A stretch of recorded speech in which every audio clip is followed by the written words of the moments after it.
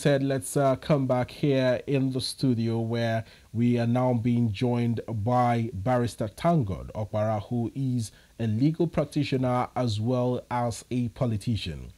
Now, Barrister Okpara is a two times PDP aspirant, Emohua constituency State House of Assembly under the auspices of the People's Democratic Party a local government area council chairmanship aspirant on the PDP against Chief in 2018 and candidate of NNPP for House of Representatives position Ikwerre Emohua local government area federal constituency in 2023 uh, general elections. Hello and good morning, Barrister. It's wonderful to have you join us on the program.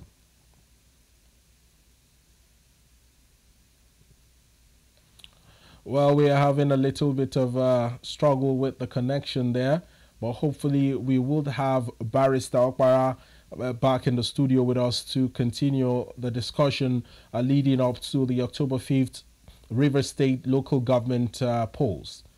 Hello and good morning, Barrister. Good morning, sir. It's wonderful to good have morning, you. Can you hear me? Program. I can hear you loud and clear. Okay, because of the rain. It's raining here heavily.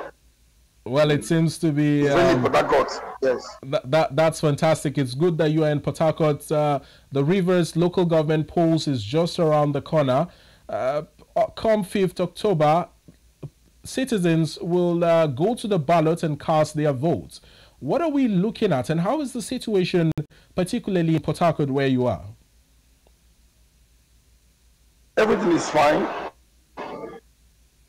Everything is fine and we are prepared for the elections come the 5th of this month. That is next tomorrow on Saturday. Everything is fine for that court. Please calm, everything is fine. Well, well, um, it's it's a sign of uh, goodwill that you mentioned that everything is fine, but perhaps in the papers it appears that the polity is quite heated in River State, with a trade of words between the governor Simi uh, Fubara and the FCT minister, uh, who is also a godfather in the state, Barrister Nyesom. What are we What are we expecting come 5th October? We're expecting a peaceful environment in River State. The election will be conducted very well. If you understand, you will know that our governor, Governor Siminalayi Fubara, is a peace-loving governor. If I must accord him that, he's the most peaceful governor in the entire 36 states of Nigeria. A peace-loving governor, and we love it for its quality. We are looking at a very successful LGA push to be conducted in River State. What you are reading on the paper, you don't believe everything you read there because I believe that most of them are targeted to just to either dent the image of the governor or harangue the governor to doing their bid. So far as we are concerned in River State, the RISEC, being the River State Independent Electoral Commission, they are ready for their job. And the noise you are hearing in River State is not far from haranguing the governor to do their bids. We know how far the state have suffered to get a quality governor of this kind. Still from the present minister of the Federal Capital Territory, he brought these governors to us. He brought it to he brought it to us. At the initial time when this when when the mass came on board, being our peace loving governor came on board, we felt ah, uh, we've not known him before. How do we do it? Everybody's been just okay. He said, vote for him, he's a good person. So the issue now we are still asking our former leader, because to me, the leader we have now is Sim Fubara. No other leader in River State. He's number first citizen in River State. He remains our leader now. Others are leaders. So we're asking our former governor this simple question. What has Sim done to you? What is that thing that Sim has done to you that you don't want us to support him again in River State? What is that special thing that is making you and your supporters to harangue our governor? Harangue him at all costs, every space, all times. What is that problem? We want to know it. What well, led well, to well, well, I, be, I believe Barrister, Barrister Okpara, this is a question in, on the minds of many Nigerians. Uh, people are wondering how the fallout came about and why the constant uh, backlash and uh, rift between, you know, who people who used to be very close, a political godfather mm. and his godson, and now they are drifting mm. apart in a very, very bad light. How much is this affecting the PDP in River State, considering the fact that the local government elections is just around the corner and PDP candidates need to win in your state? PDP candidates that I don't know about for now in terms of this local government polls. Why, why do you think so? Because I don't think they featured in this election. That, that that's quite a strong statement there. Uh, hello? That's quite a strong assertion. Why do you think they did not feature in, in the election? And why are you perhaps pulling out of uh, support for the PDP? I mean, the governor, Sim Fubara, is a, a strong No, PDP no, no, no, member. no, no, no, no, no. I cannot pull out from supporting PDP. I'm a PDP member. Like if you look at my profile there, from beginning I have gone for election in PDP, councillorship, House of Assembly, chairmanship, until when I had to take a bold step by going to contest for the House of Rep under NNPP, New Nigeria People's Party. I have been a strong supporter of PDP from beginning. Despite not losing, despite not winning at the primaries, I still continue to support my party. But the issue is the leadership of the party, just like what is happening in Benue State, for instance, where that are leaders, are people that know the truth and what is happening. We decide to shy away from the truth just to satisfy the interest of a particular individual. Just to satisfy the interest of a particular individual. That is what is killing PDP in River State. Nothing more than that. But we that are under the PDP of leadership of Sim Fubara, we are intact. The fact that they were not prepared due to the state chairman of the PDP was not prepared to sponsor candidates for this election because before you become a candidate in any local government election or any election, according to the constitution and electoral enabling acts, you are supposed to be sponsored by a political party. So the fact that the PDP have refused to sponsor the interested candidate to run for the forthcoming election on the 5th of October, you don't expect people who want to benefit from what is enabled in their local government to watch PDP and clap for them. Of course, they have right to association. People have taken both steps, join other parties to test their popularity. That is what is happening. Well, well, well let, We are us talk about let's talk about RSEC and INEC, where uh, reports coming in this morning says that uh, both uh, institutions are sort of worrying over the release of voters' register in the state. It says here, uh, election other kicks Fubara, INEC disagree over release of voters' register to RSEC. What is the situation like? What's the rift between INEC and, and, and You know- RSEC in your state? You know, when you see an old man trying to lie in the public, his mouth will be shaking. That is exactly the, the case of uh, our senior brother or elder brother, Obo Effanga. From the interview you saw, was he very composed? No. He was trying to please some certain people. From the electoral act, not only electoral act, from the constitution, on issue of registration of voters, which is officially and explicitly the work of the INEC. It is very clear that before any general election, 60 days to the time of election, that they must have what? They must have concluded with voters registration, uploading, upgrading of every electoral materials. 60 days to election, which is two months. Two months, 60 days constitution. Now, election was last year.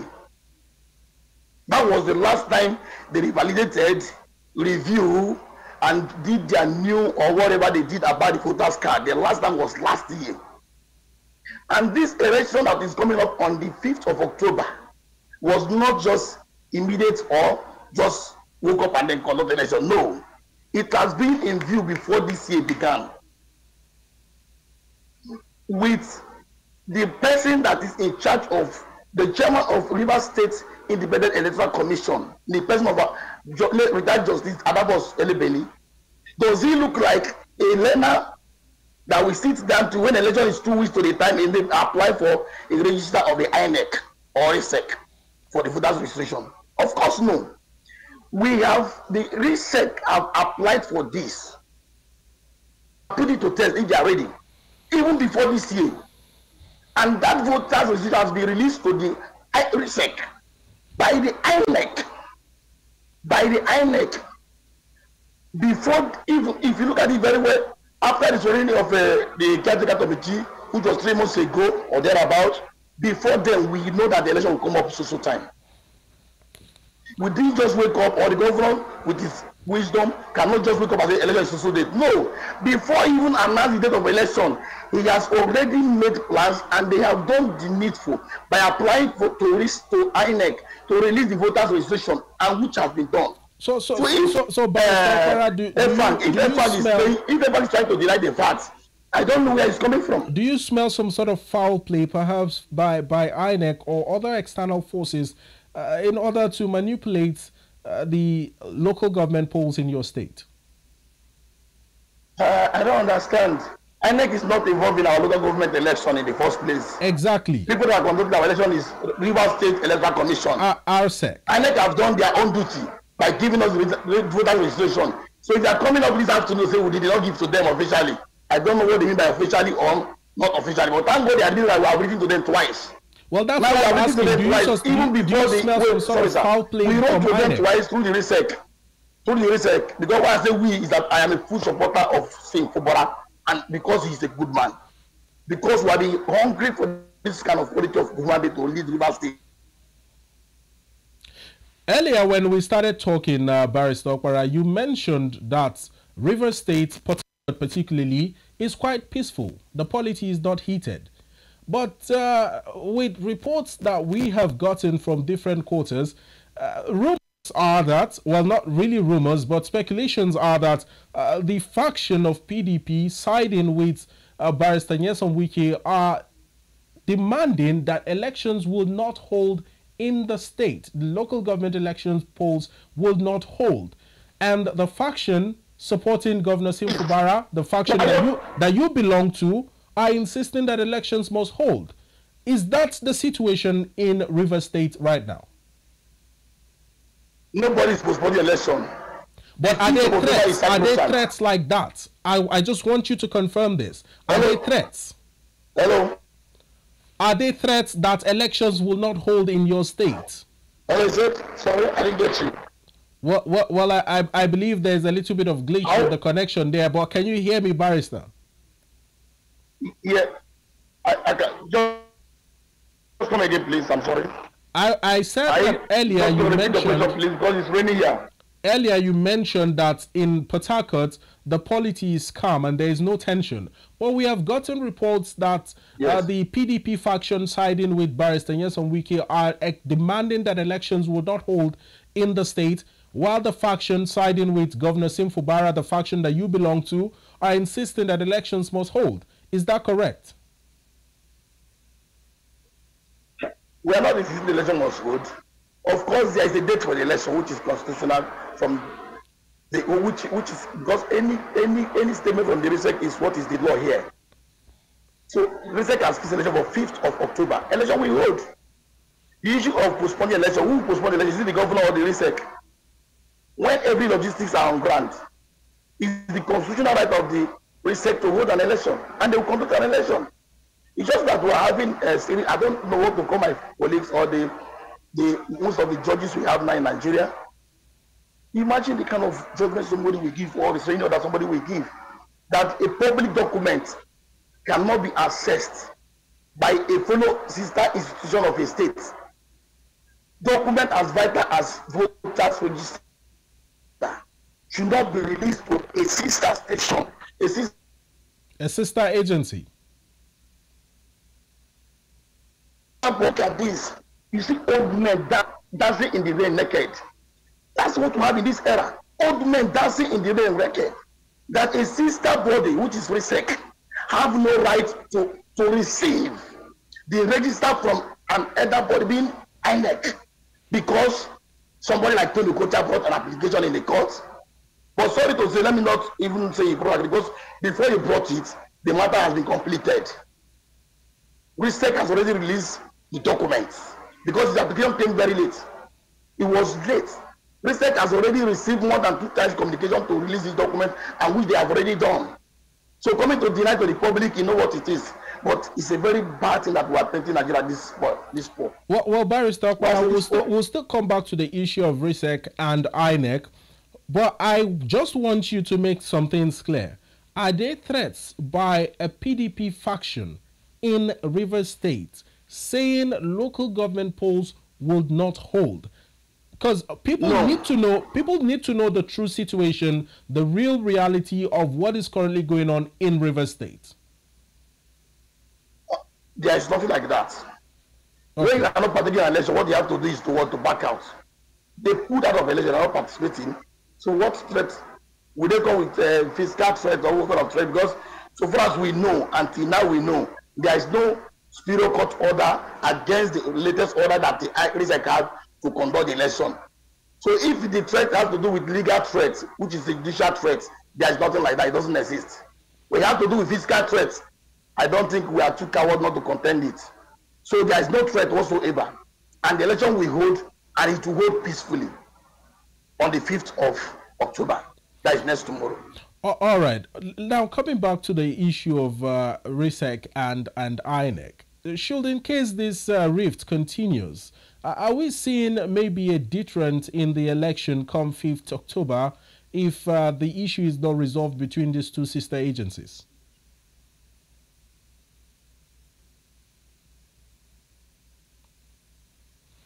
Hello, Barrister, can you hear me?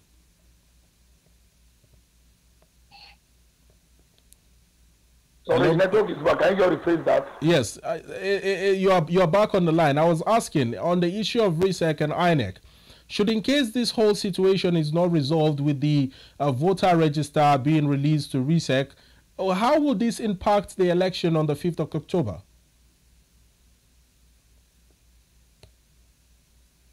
It's raining here. It's just network. The rain is heavy here, but I got. Okay, I understand it. Well, well, did you get my question? Should should the voters register not? Should the voter register not? if it is not released to RSEC, oh. how would it affect the election on the 5th?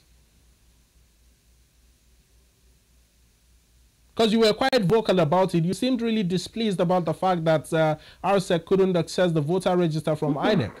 Uh, no, no, no, no, no. I didn't say that. I said RSEC.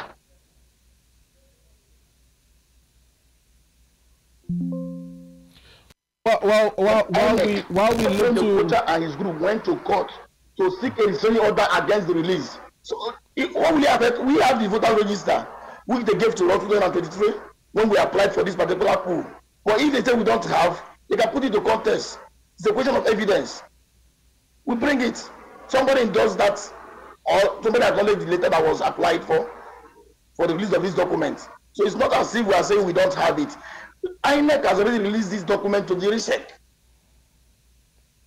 Joseph Enebeli just confirmed it.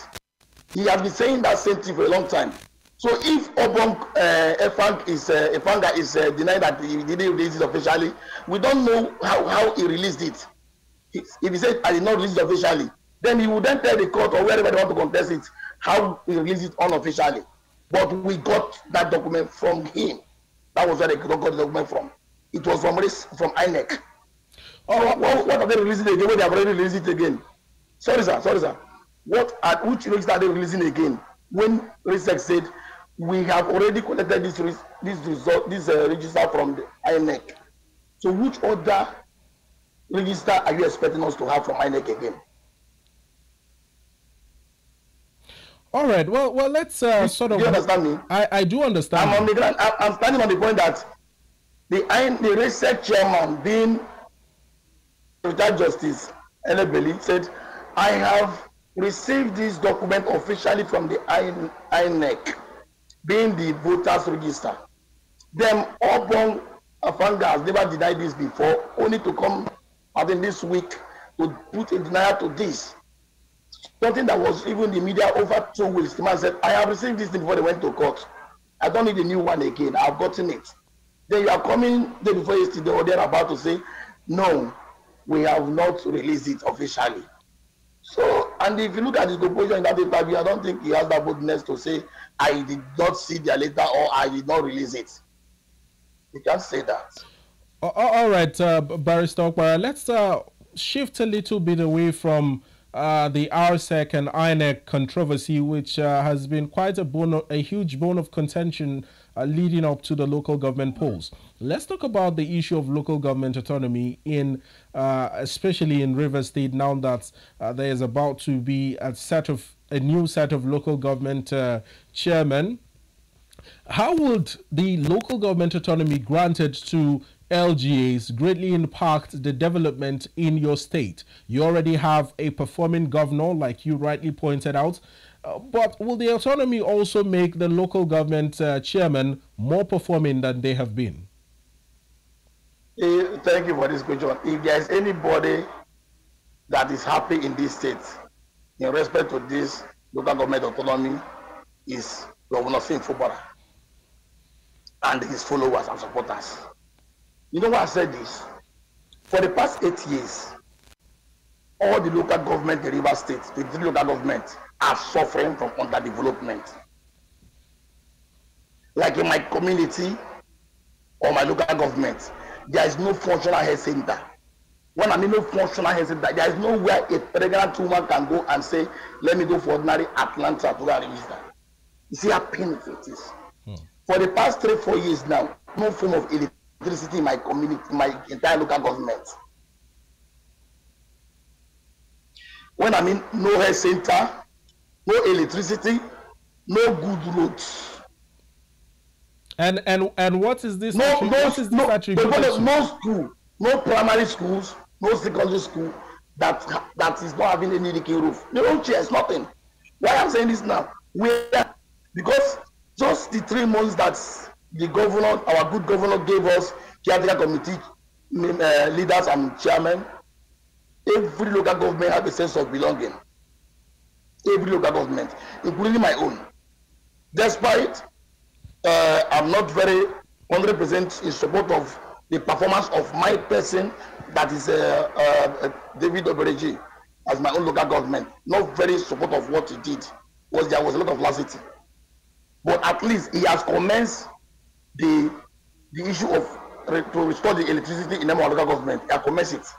We can see poles, we can see wires, what we have not seen for the past five years. Are we talking about schools? There is no functional school, when I mean school in my community. The three primary schools are dead. No roof. The secondary school is gone. That is the state of local government. My village is even a bit developed.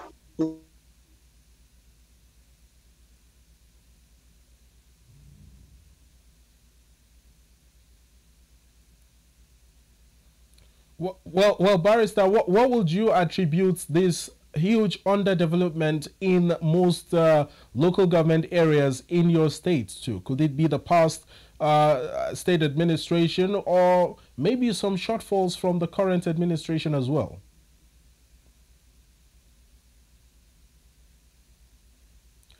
Well, Barrister Thank God uh, Okpara, if you can hear me, I believe there's uh, still another glitch in that. Uh, well, let's uh, still take uh, the newspaper headline earlier, uh, the Metrics newspaper, where you know we saw stories about the Rivers uh, local government polls. Now, as the Matrix newspaper greets your screen, I will take it again Uh, before we come back to have the concluding part of uh, this particular discussion with Barrister Thank God Okpara. Now, on the front page of the Matrix newspaper, you'd find the headline story Rivers local government polls. Fubara talks tough, reveals why local government elections must hold, says 17 out of 18 parties have registered candidates. APC factions take different stances. One supports An election, other kicks Fubara. INEC disagree over release of voters register to RSEC, that's the River State Independent Electoral Commission.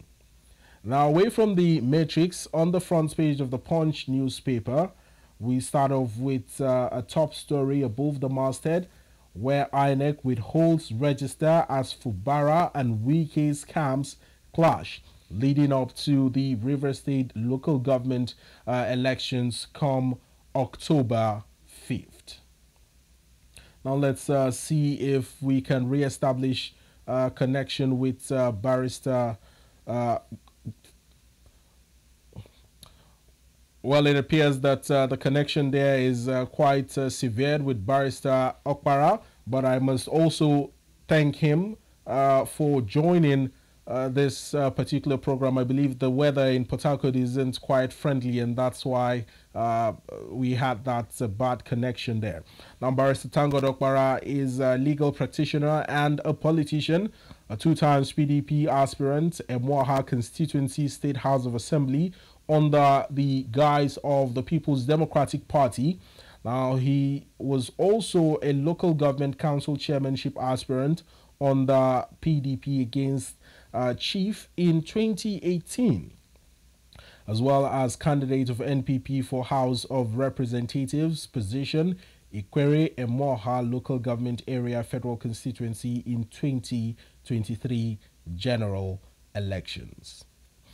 Well, that's uh, the much time will permit us to take on this particular segment of the program. And with uh, Barrister Thank God Okpara off the line, uh, it will be it's on uh, the discussions leading up to the River State polls. But come October 5th, citizens will be heading to the polls to exercise their civil franchise.